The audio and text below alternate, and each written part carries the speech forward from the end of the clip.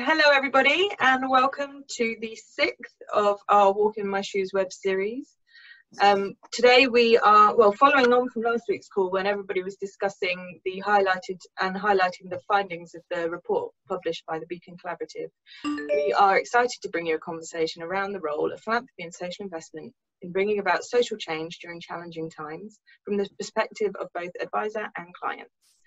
As the response funds are now deploying their income to the areas most needed, it is apparent that we need to start to bring the focus on what's next. It gives me great pleasure to introduce our speakers for today, Matthew Bowcock, who is a philanthropist and the co-founder of the Beacon Collaborative, our board member, Natasha Mueller, I hope I've said that right, yeah. um, social, who is a social impact investor, our board member, Rachel Harrington, who's the executive director, head of Coutts, Institute at Coutts and Greg Davies, Head of Behavioural Finance, Oxford Risk. It's a big mouthful for me on a Monday, who will be discussing what is driving the mindset of those with wealth right now. Please remember to be respectful of the conversation and our speakers as always, and do use the chat. Uh, I've had a few phone calls this week from people who wanted to check that they're okay, that, that we're happy for them to use it. So we are, please do, please send questions. We want a discussion, we'd like your input. And following on from this, because it is only 30 minutes, we have a LinkedIn group that we would really like more input in. So please do join it. The link is in the chat.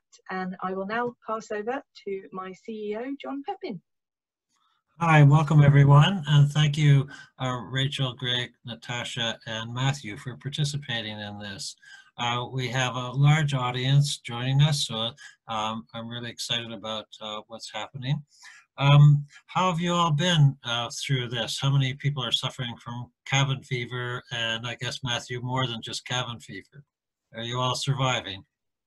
Yep. Yeah, great. Just about. Just about? Mm-hmm. okay.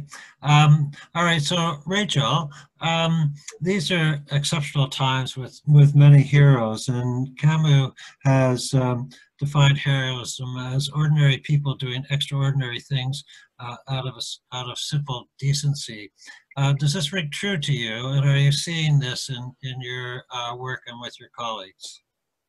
Yeah, thank you, John, and thank you to Philanthropy Impact for, for having me. It's nice to be uh, back amongst my advisory community and colleagues. Um, I think that's a really beautiful definition, and it certainly rings true in these times because I think what it's proven to us all is that none of us live in a bubble, none of us exist in a vacuum, um, and it's really highlighted just how interconnected we all are and how much we depend on each other um, and the different roles that we play. And um, we're, we're all impacted in different ways and we have all responded in different ways according to, to our capability. And my, my new colleague, Victoria Papworth, who joined us earlier this year from UK Community Foundations, has put it quite beautifully where she said that this is about philanthropy as, as an attitude as much as it is about an action. And we've certainly seen clients coming to us over recent weeks wanting to respond in different ways. So we've seen some uh, want to take really clear collective action. So you may have seen the Players Together initiative amongst the Premiership footballers all coming together to, to support a common cause. We've seen clients who are entrepreneurs pivoting their businesses uh, to respond. So moving from luxury food manufacture to supplying food for NHS workers, uh, people working in recruitment in healthcare, uh, changing uh, the way they do business and, and creating charitable initiatives on the side people with foundations making emergency grants to their existing grantees and, and people responding directly in all sorts of creative ways. And I think from an advisor's perspective, thinking about the best ways that we can help those clients right now, I think it boils down to four things. One is about understanding their personal situations very deeply. Um, the second is about being that translator and helping them cut through uh, all the noise and the information that's coming at them one is around drawing on networks and collaborations, you know, such as this one, uh, to help people move really quickly, but also give as effectively as possible and, and not try and reinvent the wheel. And the fourth one is to really short, I think both short, medium, and long term. Um, so on a personal level, it gives us the chance to get to know our clients so much better and start some of those longer term discussions about their values. But from a philanthropic perspective, we can also look for what opportunities and challenges there might be for the long term and actually where there might be some silver linings to invest in doing things differently. Um, I've been really struck by some of the conversations I've had, for example, with charities in the homelessness sector in London, about how this crisis has thrown them together and they found themselves collaborating and working together far more than they ever would have and achieved things that they didn't think you know they, they were capable of um, and similarly around the environment and the climate crisis that we face um, there are various golden nuggets there that, that we may be able to to jump on um, and invest in a better future. So uh, so the role of professional advisors then is really key to a lot of this these people trying to do some good and to be heroes themselves in a, in a different way. Yeah absolutely. I think um, it was interesting being being in a bank when uh, everyone started to work from home and lockdown happened. And of course, our, our key purpose as a financial institution is to help people with their money and make sure that we were doing all of that very safely. But we very quickly started to see a flood of inquiries coming through from clients about philanthropy and what they could or what they felt they should be doing. Um, and I was quite struck by the point in the Giving Experience report that came out um, from Beacon and the Institute of Fundraising recently about the importance of relationships and uh, wealthy people's anxieties about their financial situation. So I think it's key for advisors to really understand their clients' personal situations and what different hats they might be wearing. What are their worries as a parent or a sibling, as an entrepreneur and an employer, um, and as a philanthropist, um, and how might they best use their resources?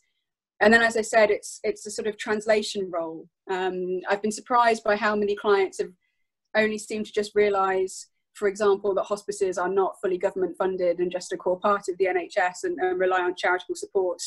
Um, clients are being bombarded quite rightly and understandably with different emergency appeals um, and different information. So I think our job as advisors is to be able to collate all of that information, distill it, know who we can pick up the phone to, know who's doing uh, effective things in different sectors, um, and find ways to help our clients join the dots. Thank you. Um, Matthew, the uh, uh, Rachel just mentioned the Beacon report that just came out. It talks about the current state of giving in the UK amongst a number of things. Um, what do you see is happening with different philanthropists reacting to the current uh, crisis? Do you see any change? Um, is there a change in behavior in the way they're giving their money? And is there more money coming in? I think there's one of the great ironies about the current situation, and by the way, Beacon has been pivoting to try and focus more on trying to, to monitor and examine exactly what's happening out there and be able to put forward case studies so that there's a positive narrative about the role that philanthropy is playing, which is very important. But um, I think just as the report that we issued spoke about how fundraisers often homogenize all high net worth individuals as being the same, and segmentation is important. It's also people are reacting in completely different ways. So you've got a certain group which you might call the first responders who leapt into the important, and we're seeing things in, in terms of three phases, relief, recovery, and resilience. At least this is what we think will happen. And we're still in the relief stage, but we're just starting to think about what the recovery stage might look like. So there's a certain number of people that have leapt in very quickly. Of course, um, one of the ironies is that they were forced to pivot from being strategic philanthropists to being tactical relievers of, of, of, what you might call symptoms rather than causes. So, you know, we're taught through our philanthropy training to be strategic and develop a theory of change. And all of a sudden, what you're responding to is a sense of guilt that you've got so much and others haven't, and the need that that implies. And I think it would be tragic if philanthropy actually lost that empathetic response but it means that some that you're having to pivot from being strategic to tactical. I think some people have found that very difficult to do, particularly as they're often swamped with other issues. Another assumption is the high net worth philanthropists have nothing else to do with their time. Most of them are on the boards of companies. They've got uh, members of staff who work for them. They've got family offices. Oh, and is somebody looking over there, looking at their portfolio and discovering they've lost 30% of their total net worth oh, their philanthropic foundation has got a load of equities and no cash in the bank, and therefore to make a donation, it's got to sell the equities at 30% less than they were worth a month or two again. So a number of them, I think, are frozen in the headlights by these things, but by these multiple different factors all coming to play. I think there are some who are being very measured about it and saying, which are the charities and how are they going to change as we come out of this? Which are the ones I will want to support? Not because I've historically supported them for years and years, but because they're the ones who are going to be key in the future. And if we have a winnowing of charities in the landscape, which ones are we going to pick to really invest in for resilience in the future in things like technology? Because, you know, I, I heard Will Perrin the other day say, frankly, the sector is antediluvian with its use of technology. And that's one area in which we might see significant change as a result. But the things that worry me a bit about these different responses are that there is a risk that there's some diversion of funds. So people have an annual philanthropic budget in their foundations or in how much they give and they're comfortable about. Mm-hmm. And then the second year when we get to recovery and resilience and find the budget has already been spent and often spent on something which was very appealing like an NHS charity, which is now being swamped because it's the thing that is most easy to appeal to. So I think there is a risk that some of the instant response has, has diverted money, so it hasn't been incremental charitable money. And finally, I worry that out there, there's a cohort of latent donors who really want to respond. And this is where professional advisors are incredibly important. People who are not known as habitual philanthropists, but know that in a sense, this is, this is our generation's war and therefore will be marked out by how we respond, and therefore they want to join in, but really struggle to know how, because they have not been historically major philanthropists, but they have the capacity. So I really hope we can turn this from crisis into opportunity from a philanthropy point of view. Matthew, the um, um, interesting about the recovery and uh, that stage. Um, what kinds of measurements are people using to decide who should uh, survive because of their impact or whatever. Uh, is there any clarity on that at all at this point? Well, if you go back to the Beacon report, a lot of it was about the importance of developing trust. And those organizations, I think, that engage their philanthropists in understanding the problems they face and how they're planning to address them, are much more likely to get the long-term support than those that offer very simple appeals. I mean, so I think those that are using this as an opportunity to invite their donors in as shareholders, as stakeholders, are the ones which will be the long-term beneficiaries of it. So that's really interesting. It fits with the training that we're doing of high-value fundraisers, trying to get them to not treat people as donors but as clients, and that could make a big difference. Natasha, um, uh, what pressures are you feeling as a uh, philanthropist, as a uh, social impact in, investor, and how are you dealing with those? Well, actually, I think Matthew answered quite a lot of a lot of the questions. I'm going to pick up a couple of the, uh, the topics he mentioned. I think the main one that most philanthropists are facing right now is we're just overwhelmed by opportunities. Like Matthew said, I mean, my inbox is full. Um, and there are trade-offs and opportunity costs. We have limited time, limited resources, and if you're an empath like me and you kind of have this do gooder notion, you want to save the world, it's like where you put your capital most effectively because you can't give to every organization that asks for funds. And again, like Matthew said, most philanthropists kind of have a strategy. So when I look at what I want to do with my capital, I set priorities from the outset. Um, and philanthropy is part of that. So philanthropy, social investment, and in my case, kind of activism and lobbying and advocacy. So those are my three pillars of kind of how I want to implement social change. And um, I think when a crisis like this happens, it's you have to decide whether you're going to look at your long-term strategy and also focus on the outside, like what's happening after Corona and building up resilience, or if you give immediately. And where is it most effective? So again, like Matthew said, most funds are going into the NHS right now, and I think that it's great. You know, that's emotional giving, but I think that has to be tempered a little bit with strategic giving.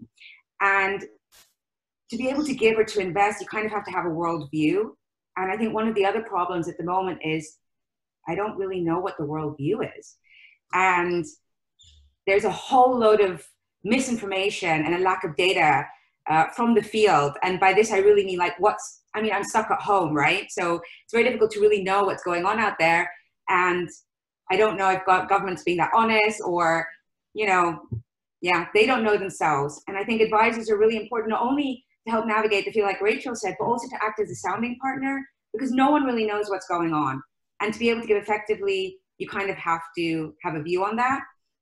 And I think one of the reasons that the crisis has been so bad is because it's put so much pressure on existing fault lines. And the healthcare system was underfunded. I'm a mental health uh, activist as well. So I look at the mental health space. Now it's being discussed everywhere. And it takes time to build that up. And a lot of the time, some of the most effective philanthropy is the stuff that's not sexy.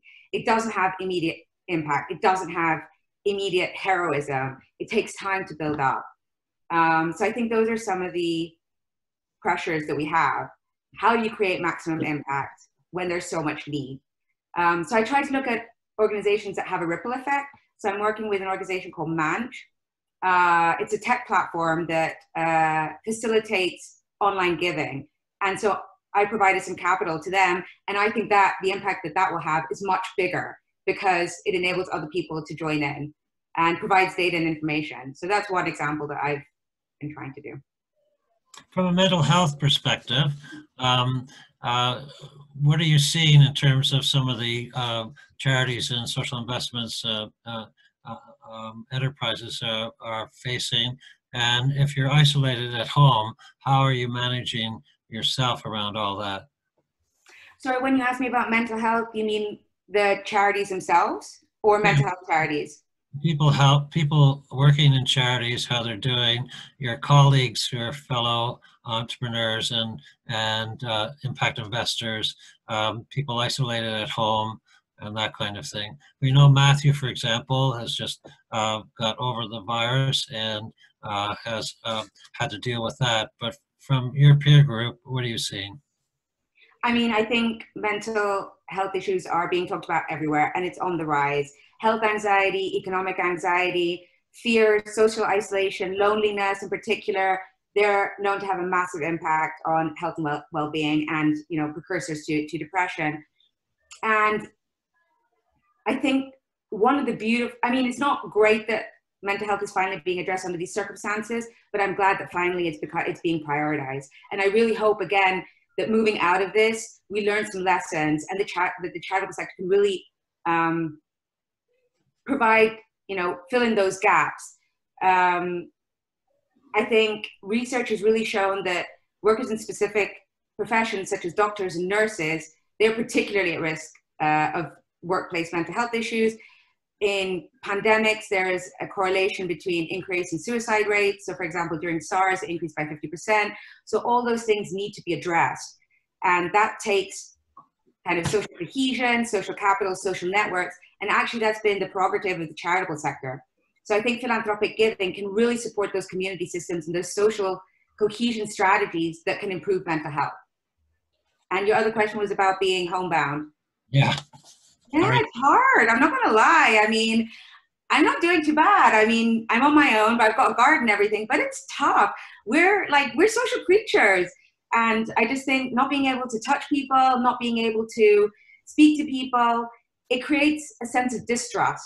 And I think trust along any kind of form of investment, be charitable or social impact, that's the fundamentals or the bedrock of the system. And without that, it, it creates a lot of tension.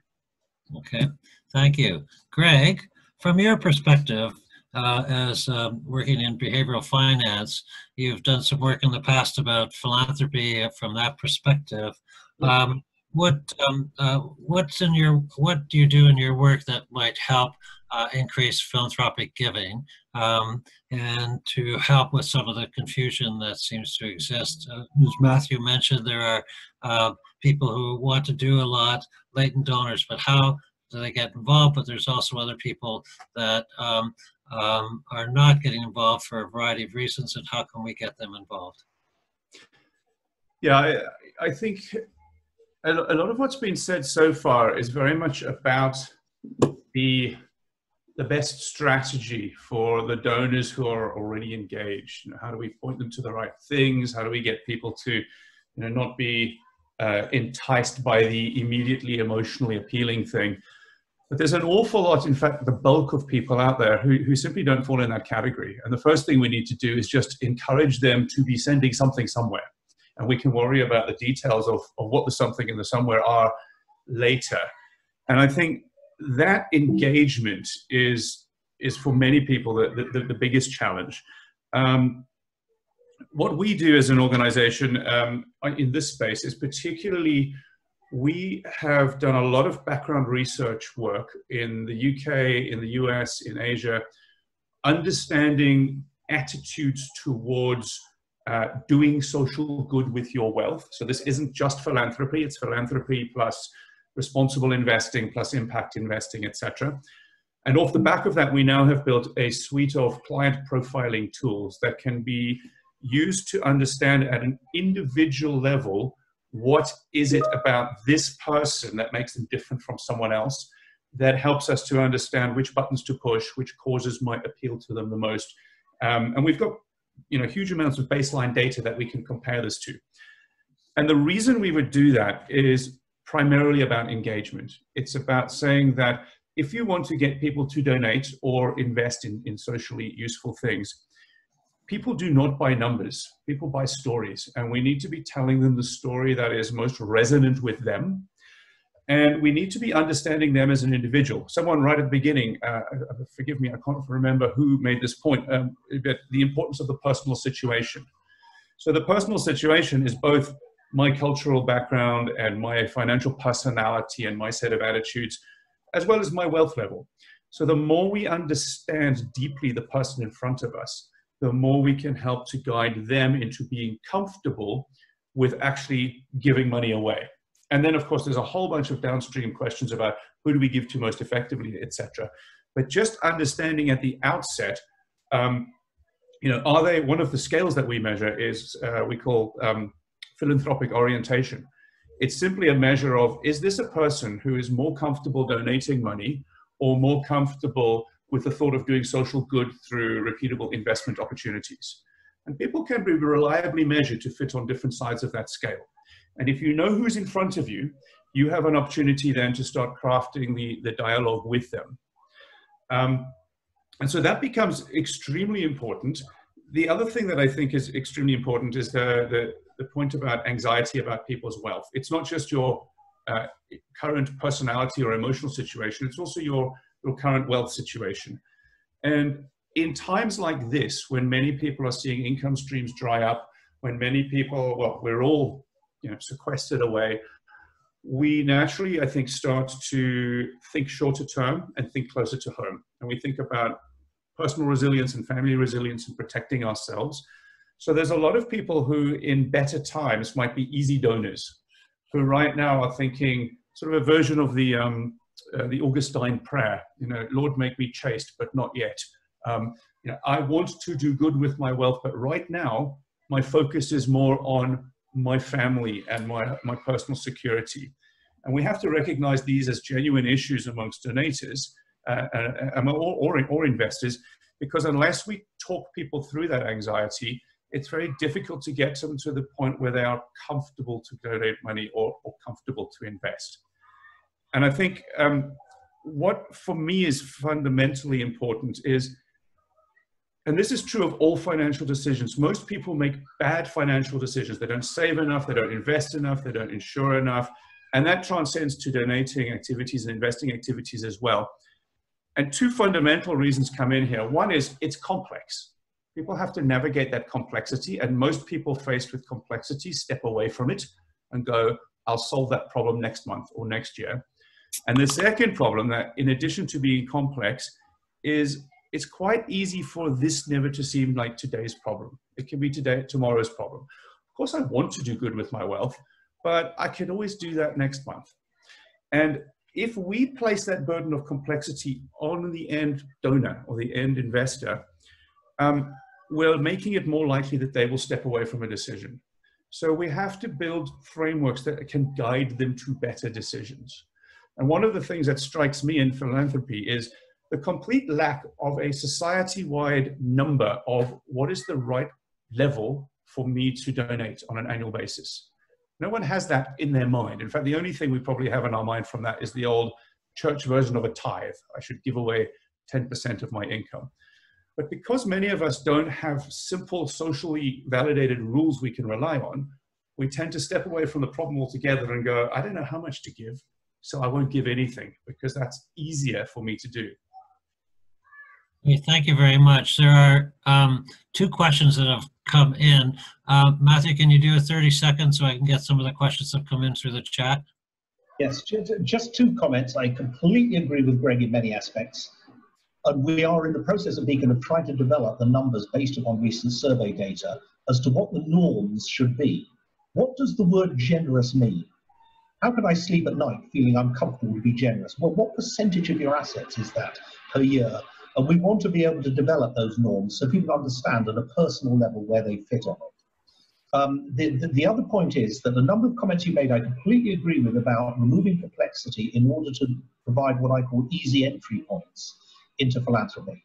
But what's really important is they end up being rewarding by the feedback mechanism. So if somebody doesn't end up getting the feedback from where they donate because the intermediary wants to divorce them from the end cause, because uh, they don't want to lose them as a key philanthropist, then they don't end up getting engaged. So there's a lot of lot of evidence that people have tried once and found it unrewarding and therefore not come back to it. And that's a really important aspect of the easy entry points. Okay, thank you. Uh, there is a question uh, from Felicity Jones, uh, so I'll just read it out. Uh, how can we keep the focus on global priorities, e.g. support African health res resilience, as well as more emotive and immediately visible needs such as the NHS in the UK? Um, Natasha, do you want to take a bit of uh, response to that? I was afraid you were going to ask me. That's a really tough question. Um, and I don't really have an answer. And I think, again, it comes down to, unfortunately, like priorities and strategy. And I, I yeah, uh, it's, it's, it's an issue. I think, like Greg said, you tend to, what I think what this crisis has done is like made visibility much narrower. So our focus is like in our immediate vicinity and what's happening to us, right? Because that's what we can feel and that's what we can respond to.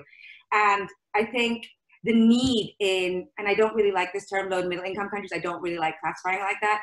But I think they're they're facing a double whammy. So, you know, in the West, again, don't you like these terms? But we started off with a health crisis and it's become an economic crisis. They're going to start with an economic crisis and then get the health crisis. And that's particularly difficult.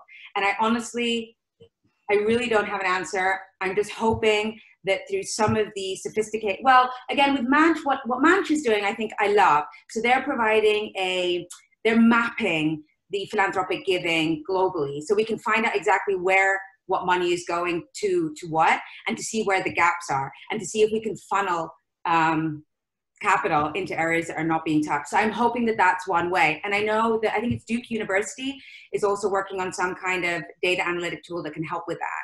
Um, so I think information is really key at the moment to helping that. Is that a good answer? I'm not sure. John, John, can I can I add to that very quickly? I think I think that the two potential buttons that we can press here. One is around that interconnectedness you know, it, we've been shown here in the UK how connected we are, even with with each other.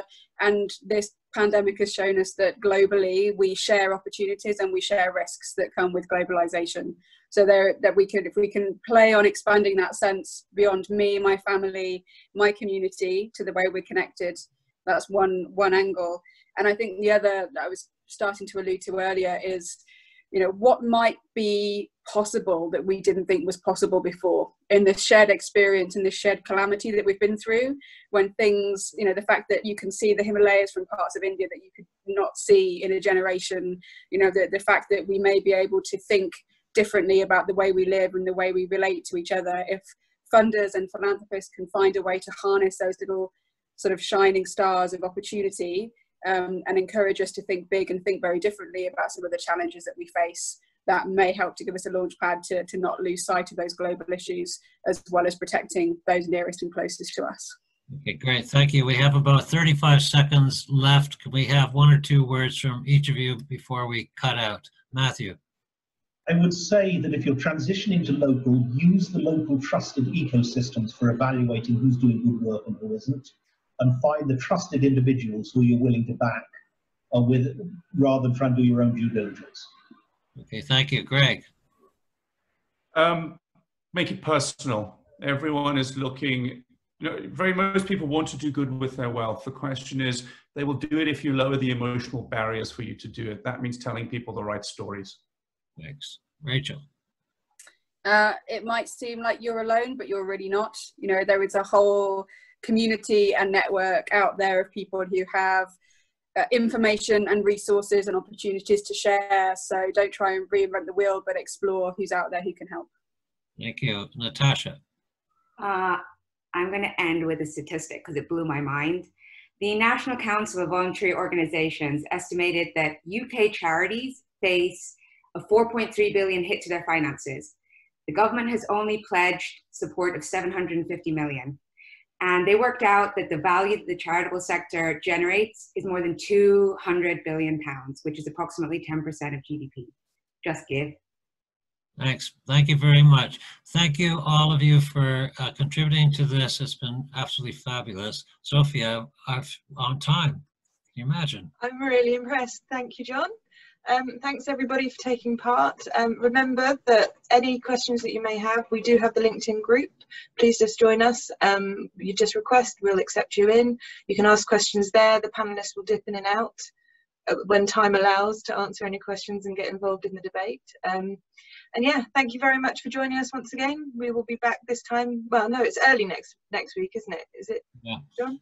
Next week is early at 9:30 in the morning because it's on uh, uh, South Asia, Southeast Asia and Asian philanthropy and how they're reacting. And we have people from Hong Kong and Singapore who will be joining us. So that seems to be the best time to have them join us. So, Morning session. All right, thank you everybody. Bye-bye. bye. Thank you. Bye.